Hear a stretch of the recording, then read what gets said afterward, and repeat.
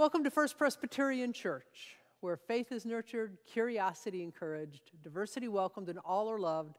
I'm Pastor Sue Collar. Thank you for worshiping with us today. Wherever you happen to be, whether you're driving along in your car, whether you're having a lazy morning in bed, whether you're sitting on your couch eating a meal, sneaking away from work, wherever you happen to be, God unites us. Space is no barrier, time is no barrier. And so we have gathered here today to worship. If you do happen to be watching this mor- uh, Sunday morning at 10 o'clock on our Facebook uh, premiere for this, say hi in the comments. It's nice to see who's gathered, at least in that little, little time slot for our worship. It's one of the ways we help build community. And if you are new to us or just checking us out, head over to our website, fpclincoln.org, and click the I'm New tab and sign up for Coffee with the Pastor.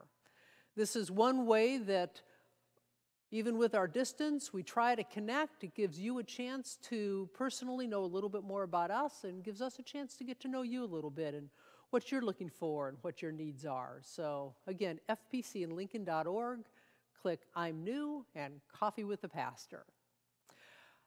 If you would like a bulletin for today's service, you can still head over to our website, click the online or uh, click the listen and watch tab and then online worship and you will find the links to download both the bulletin for today's service and the announcement sheet about the things going on in the life of the church. Friends, this is the day the Lord has made. Let us rejoice and be glad in it, and let us worship.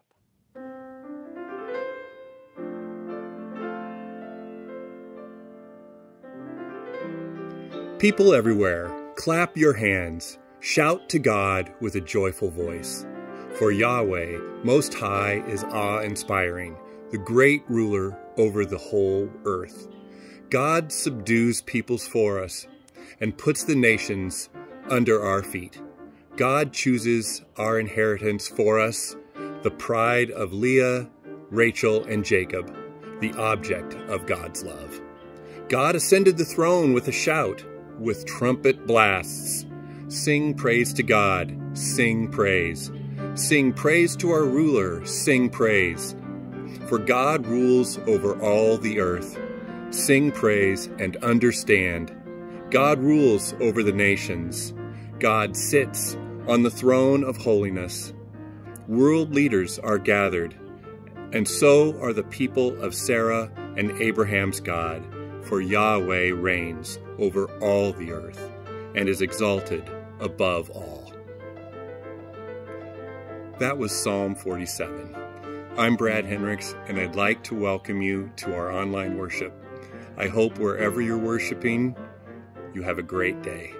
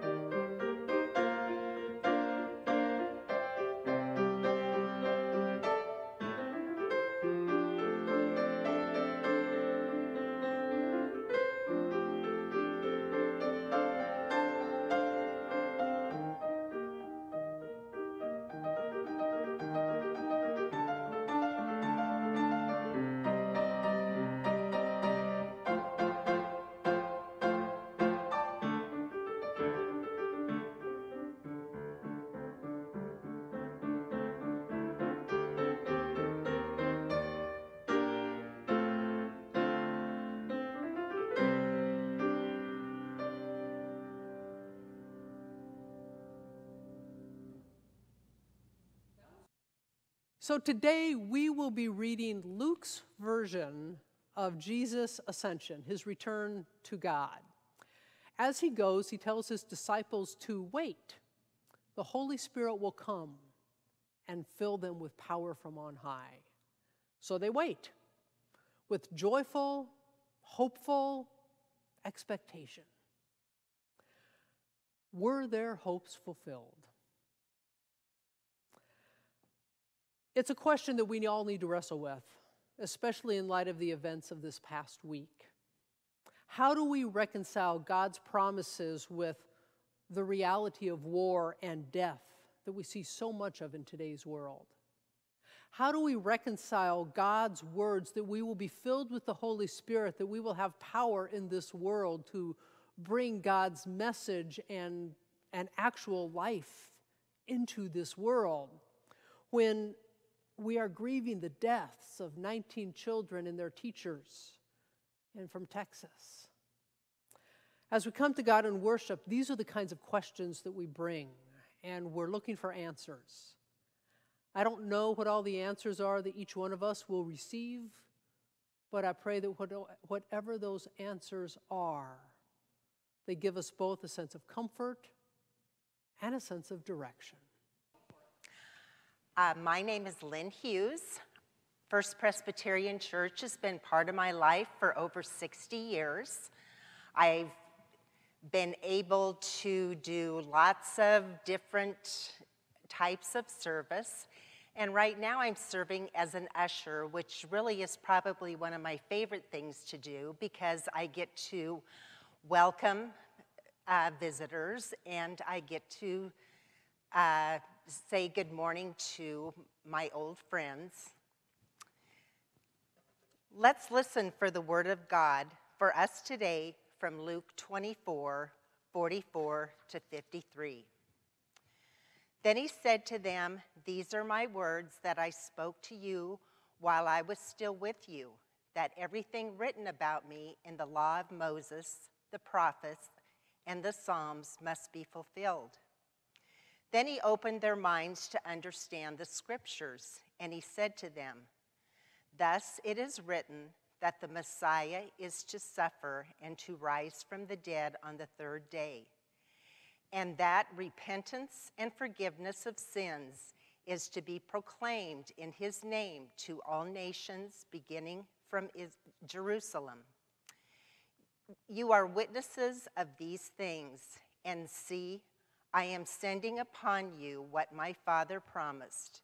So stay here in the city until you have been clothed with power from on high.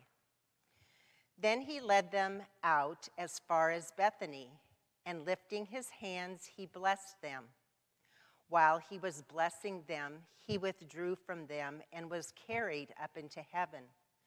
And they worshiped him and returned to Jerusalem with great joy and they were continually in the temple blessing God. A word of God that is still speaking. Thanks be to God. Audacious Hope. I picked this sermon title long before the events of this past week when an 18 year old entered Robb Elementary School in Uvalde, Texas, and wearing body armor and armed with two AR platform rifles, killed 19 children and two teachers.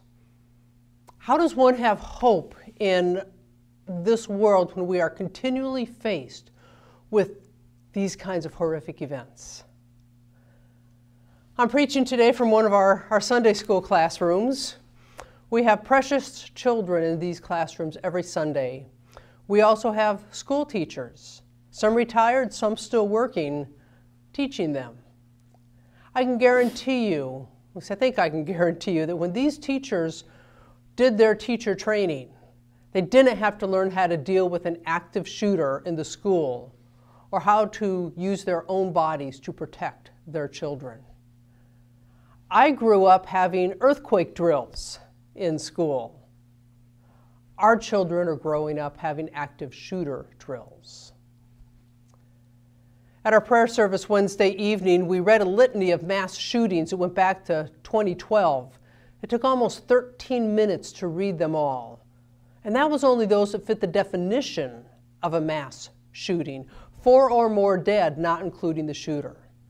We would still be at it if we lowered that number from four down to three or to two or, or even to one like in the recent shooting in the Taiwanese Presbyterian Church in Laguna Woods, where a gunman entered the church, locked the doors, and armed with guns and Molotov cocktails, managed to kill only one person before the congregation tackled and hogtied him. I'm angry, and many of you have expressed the same thing. angry at the situation, angry at those in power who have the power to do something about it and choose not to, angry at those who argue against doing anything to protect our children in school. Our kids should be able to go to school and not be afraid of dying. Parents should be able to drop their kids off at the doors of the school on Monday morning and not be afraid that they won't be able to pick up their child at the end of the day. We're also angry at ourselves because we don't know what we could possibly do to make a difference and we feel powerless. So, what do we do with that anger? And is there guidance from our faith? Today's scripture is Jesus' commission to his disciples. This is his charge to them after he spent time teaching them after the resurrection. He tells them the work they are, they are to carry on after he leaves. They are to proclaim repentance and the forgiveness of sins to all nations, beginning with Jerusalem. Then he tells them to wait for the Holy Spirit who will fill them with the power to do this. Now, when Jesus died, Jerusalem was still a bustling city. It was full of life. But when the Gospel of Luke was written, there was hardly one stone left standing on another. The temple had been destroyed. All of this due to both internal fights within the Jewish family and rebellion against Rome. It was all about power and control. And it left Jerusalem a smoldering ruin.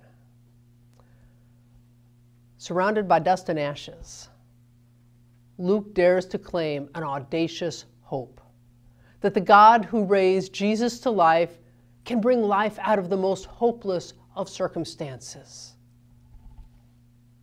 Now, Luke doesn't tell us what his readers thought standing in the midst of a smoldering city. He just tells us that the first disciples, after hearing that, went to the temple and praised God continually. They believed they had this hope of this world to come. But for Luke's readers, I have to believe there was a disconnect between what they were hearing and what they were seeing. Jesus was telling them a new day was dawning, but they were still standing in a city in ruins. There was growing conflict between the church and the synagogue, and Christians were fast becoming the scapegoat of the Roman Empire. And yet, even then, Luke has the audacious hope that dares to believe that there was indeed a new day coming. But it wasn't going to come about by some magical act of God, but through changed hearts, changed minds, and changed action. In the ruins of Jerusalem, people could see what comes of people's hunger for power and control. It was not life. It was not joy. It was not justice. It was death. It was ruin.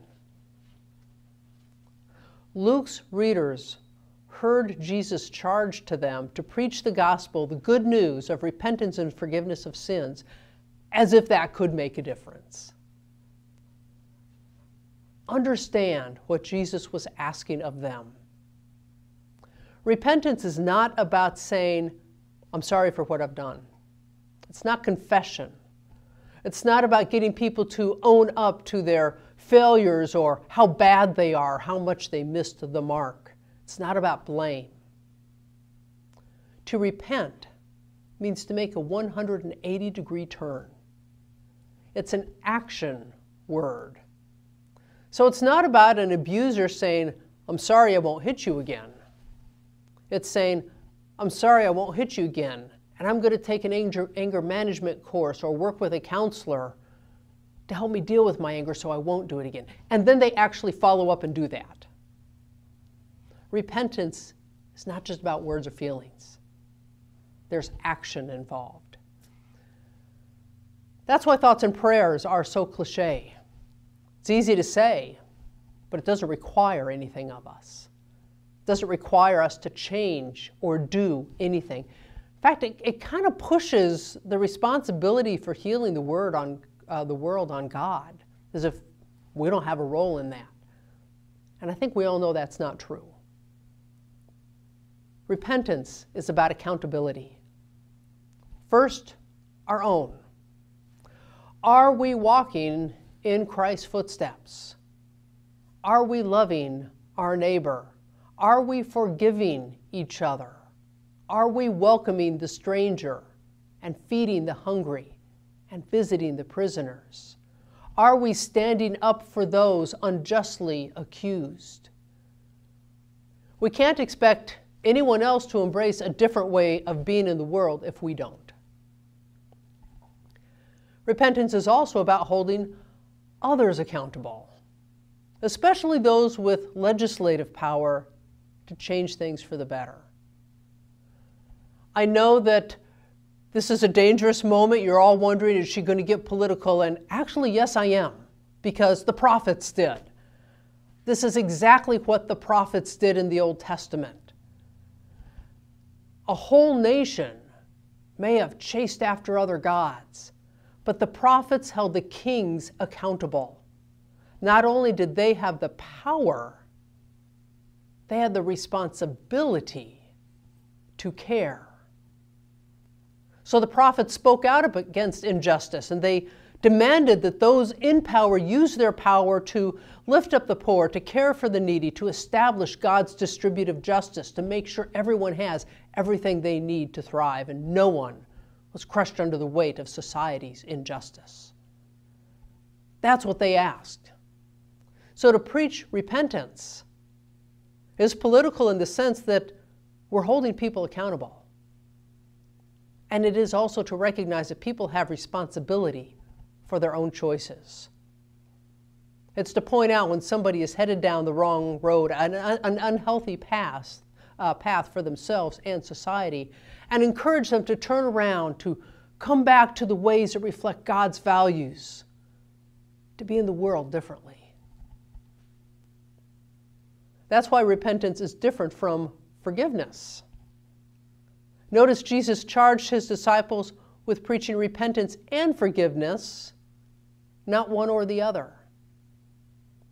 Forgiveness means I'm not going to define you by your sin. Forgiveness is saying it's possible to make a change, it's possible to do better, it's possible to be different, and I'm going to give you the space to do that. I'm going to give you the support to do that.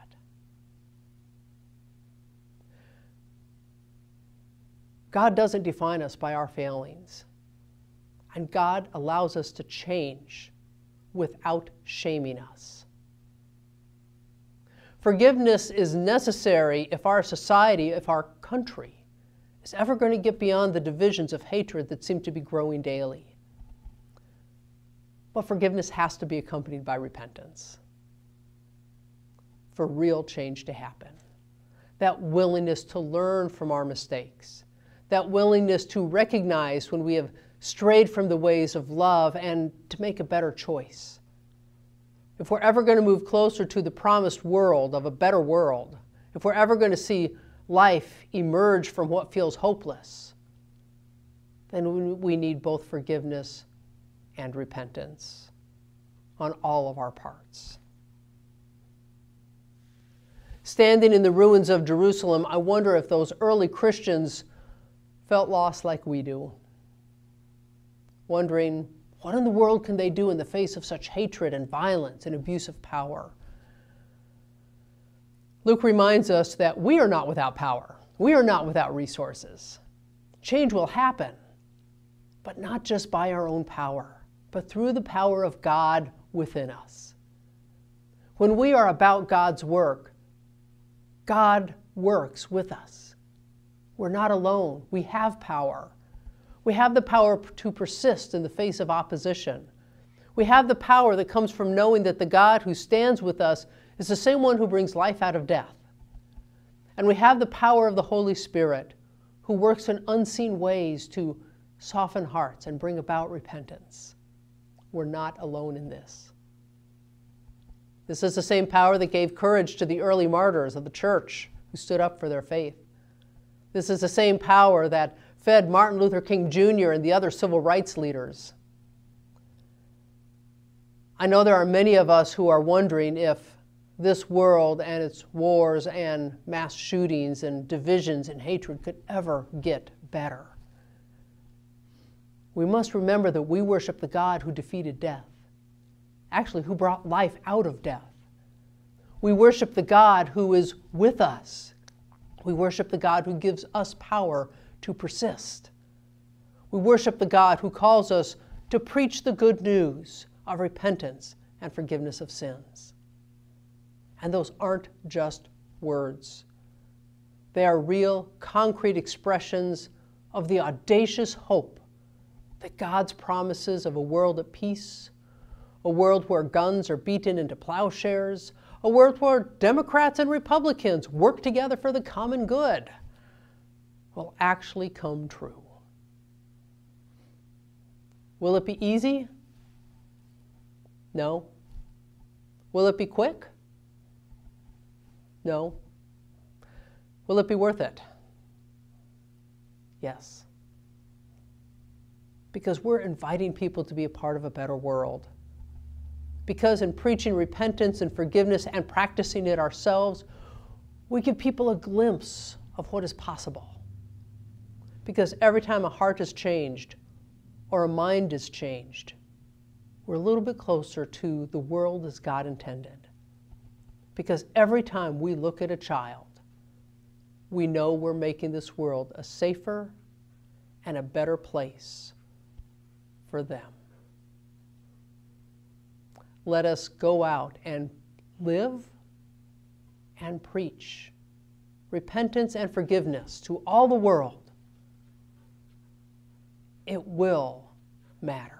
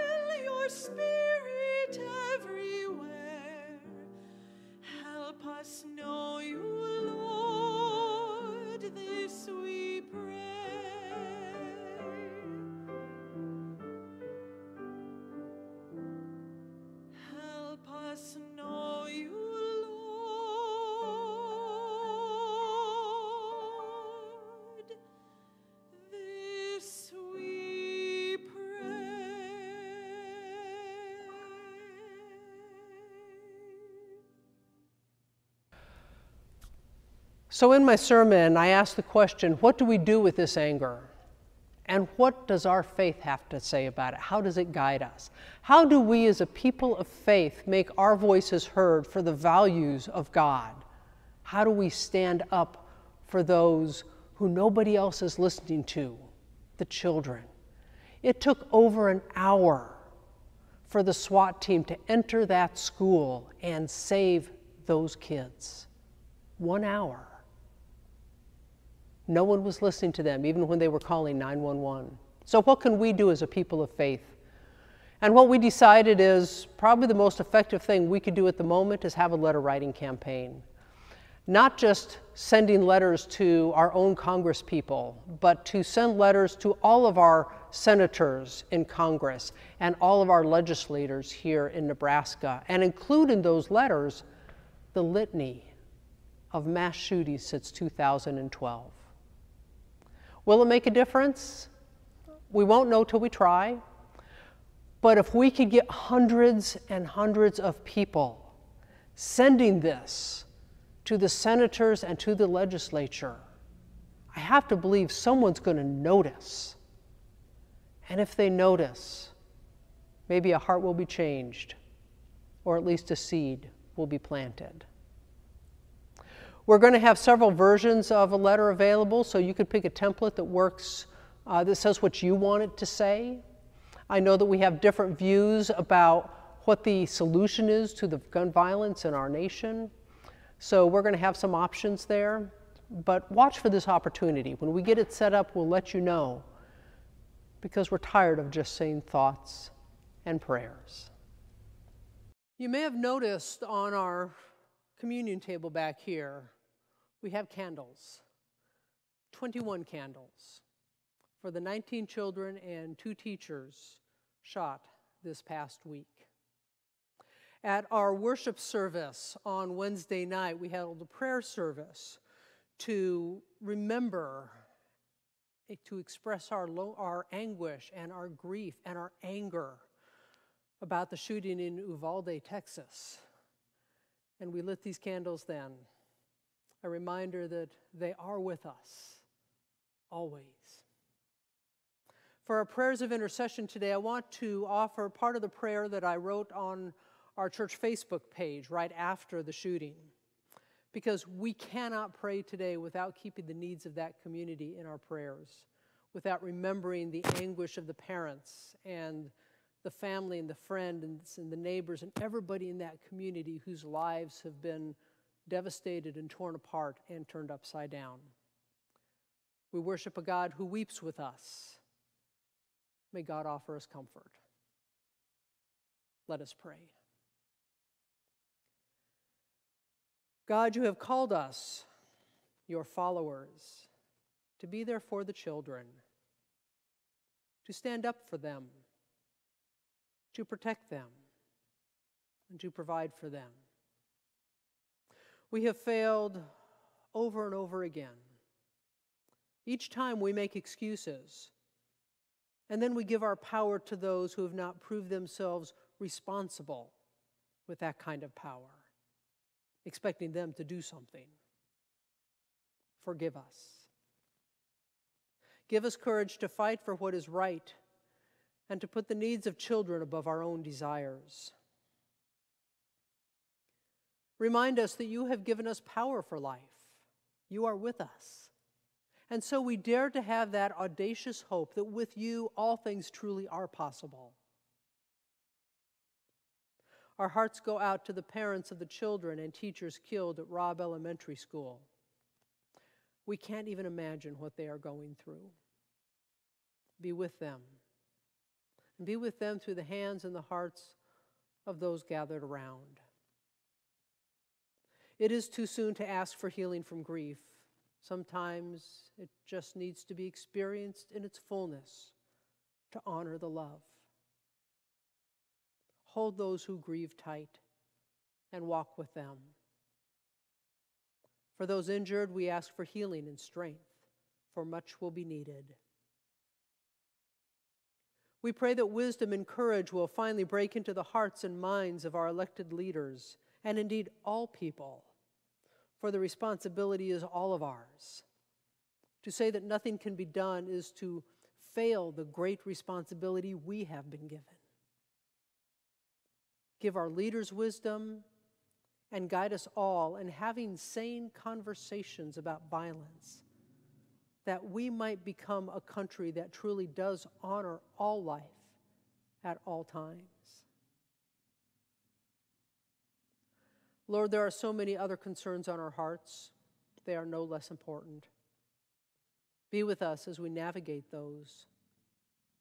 Be a support and healer to those in need, and a source of joy as well, reminding us that there's still good in this world. We just sometimes lose sight of it in the face of immense tragedies and worries. While we weep with those who weep, may we also not be afraid to laugh with those who have found joy. By your Holy Spirit, hold the church in unity and keep us faithful to your word so that we may be one with Christ in faith and love and service. We pray these things in the name of the one who taught us to pray, saying, Our Father, who art in heaven, hallowed be thy name. Thy kingdom come, thy will be done, on earth as it is in heaven. Give us this day our daily bread and forgive us our debts as we forgive our debtors. And lead us not into, into temptation, but deliver us from evil. For thine is the kingdom and the power and the glory forever. Amen. The work of the church is not just to pray, but it's to act. It is to be that agent of justice in the world but the work of the church is also to laugh and to celebrate and to play. It is all needed, especially in days where life is hard. We've got some things coming up in the life of the church that I hope you'll take note of. If you have always wondered what the book of Revelation was really about, we've got a class for you. Starting June 6th on Zoom, we're going to study the book of Revelation. If you like music, on June 10th, we have the Harana concert, Arts for the Soul concert with Harana. And it's a free concert, it's an outdoor concert. What a wonderful time to come together and enjoy some music and some fellowship. If you value people of all stripes, no matter what their diversity represents, no matter who they are, Pride Fest is coming up, and our church is going to have a booth at Pride Fest this year. That's June 17th and 18th. It's one way that we let those who have been hurt by the church know that this is a safe place for them. All of these, you can find out more on our website. Just go to fpclincoln.org, click the events tab. You'll find out everything you need to know about these three events and many other activities going on in our church in the weeks to come. You could also download the announcement sheet again at our website. Just click on the Watch and Listen tab, and you'll find the download link there, and it will have more information as well. Remember, church is all of us coming together however we can to celebrate and to work. Good morning. As we move into the summer season here in the Midwest, we all look for reasons to be outside and enjoy the wonderful warm weather. Thanks to your generous giving, our outdoor space here at First Presbyterian is refreshed and welcoming. One of our mission goals is to stay in this neighborhood and improve the area for its families and residents. Having an outdoor space that reflects the beauty of our building and our congregation is important. When you have some time, visit the courtyard and enjoy the plantings and peaceful surroundings. Check out some of the new bushes that were planted in the church's landscaping and think about the people and donations who made these possible. Please pray with me. Dear God, thank you for light and warmth. Thank you for the sun. Thank you for the gifts of nature, for the annual cycles and seasons. Today, give that grace again to see you as the Creator, the one who lifts us up to be with you forever, even now. Amen. It's your choice how you choose to give text, online, in person. There'll be information at the bottom of the screen. Everything is welcome. Thank you. We go out into a world that is hurting. We go out into a world that doesn't believe God's power is real. We're going out into a world that at times has lost hope. As children of God, as followers of Jesus Christ, as recipients of the power of the Holy Spirit, we are invited to go out into that world and to bring an audacious hope that lets people know that whatever is happening right now is not the end. It does not define our lives, it does not define our future. That future is defined by God's love. And one day, that love will truly fill the world. So go out and share that good news. And for those who are having a hard time believing, be Christ to them. Be present with them. Don't try to convince them. Don't try to, to make them believe something that they aren't ready to, to believe, to let go of something they aren't ready to let go of. Be Christ to them. Friends, the world needs us. As you go out, know that you go out in the power of the Holy Spirit who fills you up and sends you forth and walks with you every step of the way. Amen.